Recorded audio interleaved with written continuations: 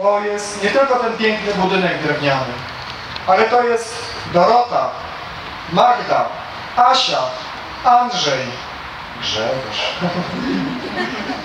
i wszyscy inni. Można na siebie popatrzeć nawzajem i zobaczyć. Jestem kościołem. Jesteśmy kościołem. A skoro jesteśmy kościołem, to znaczy, że my rodzimy Jezusa. Kobiety to sobie to jeszcze wyobrażą, ale panowie to jakoś im trudniej. Ale Jezus to jest miłość. Każdy, kto daje miłość, rodzi Jezusa i jest matką Zbawiciela. Każdy, kto rodzi pokój, rodzi Jezusa. Każdy, kto rodzi nadzieję, rodzi Jezusa.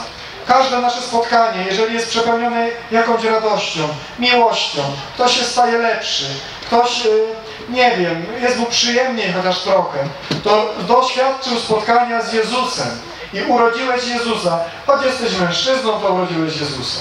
Jak jesteś księdzem celibatariuszem, urodziłeś Jezusa. Dlatego tutaj modląc się pod tą figurą Matki Zbawiciela, szczególnie e, ja Bogu dziękuję za Was, że przy Was miałem doświadczenie tego, że urodziliście dla mnie Jezusa. Za każdego kapłana tutaj naszej parafii, który dawał nam na Eucharystii Jezusa. Za to, że ja dzisiaj mogłem po raz drugi tak naprawdę sprawować Eucharystię, po raz pierwszy sam y, i dać Jezusa.